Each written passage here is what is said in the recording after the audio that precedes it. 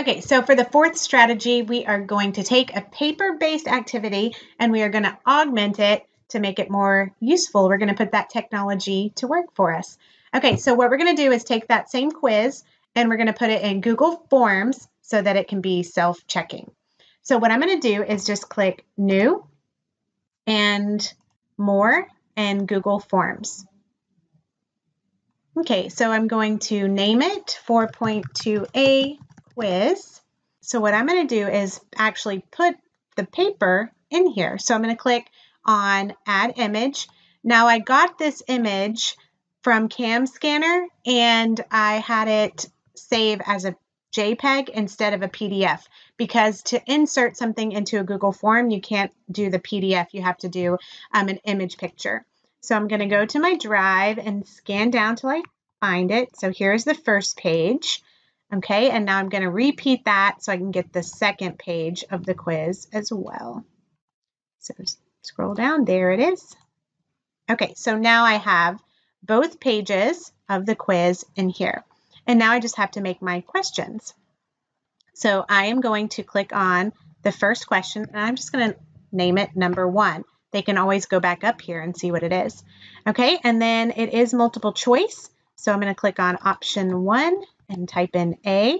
And then notice it has a pop-up where it's going to assume you want B, C, and D as well. So you can just click Add All.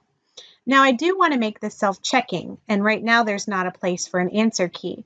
So what you're going to have to do is set it up to be um, a quiz. So right here in the settings, you can click on that and then you click quizzes and then just make it a quiz. And there are some other options you can look at too, but they're not necessary. Okay, so now that we have it as a quiz, notice down here it says answer key. So then you would just click which one you believe to be the right answer. So number one is done. Now let's do number two. I'm going to type number two and option, so repeat that again.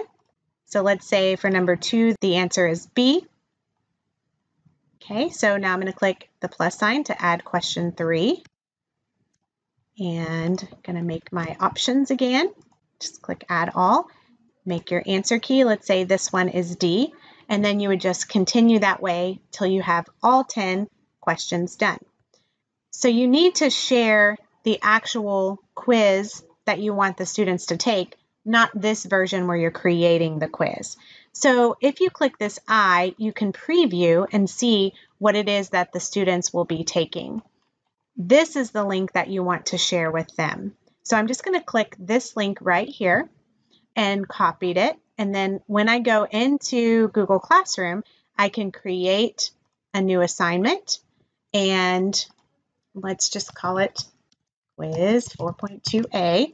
And instead of going to Google Drive, I can just insert that link right here. I'm going to paste it and click Add Link.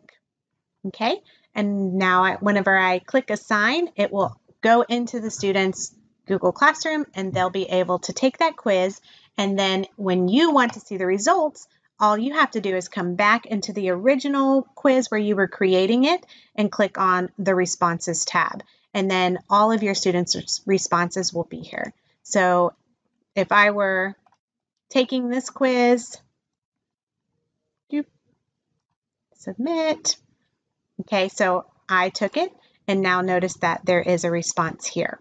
So this is one way where you can take a paper activity to the next level by helping you to be more efficient with your time and not have to grade it, um, and also save paper. So the next strategy I'm going to show you is going to be another one where it's self-checking for students, but this one will be a little bit easier for the students to use and a little more engaging as well. So stay tuned.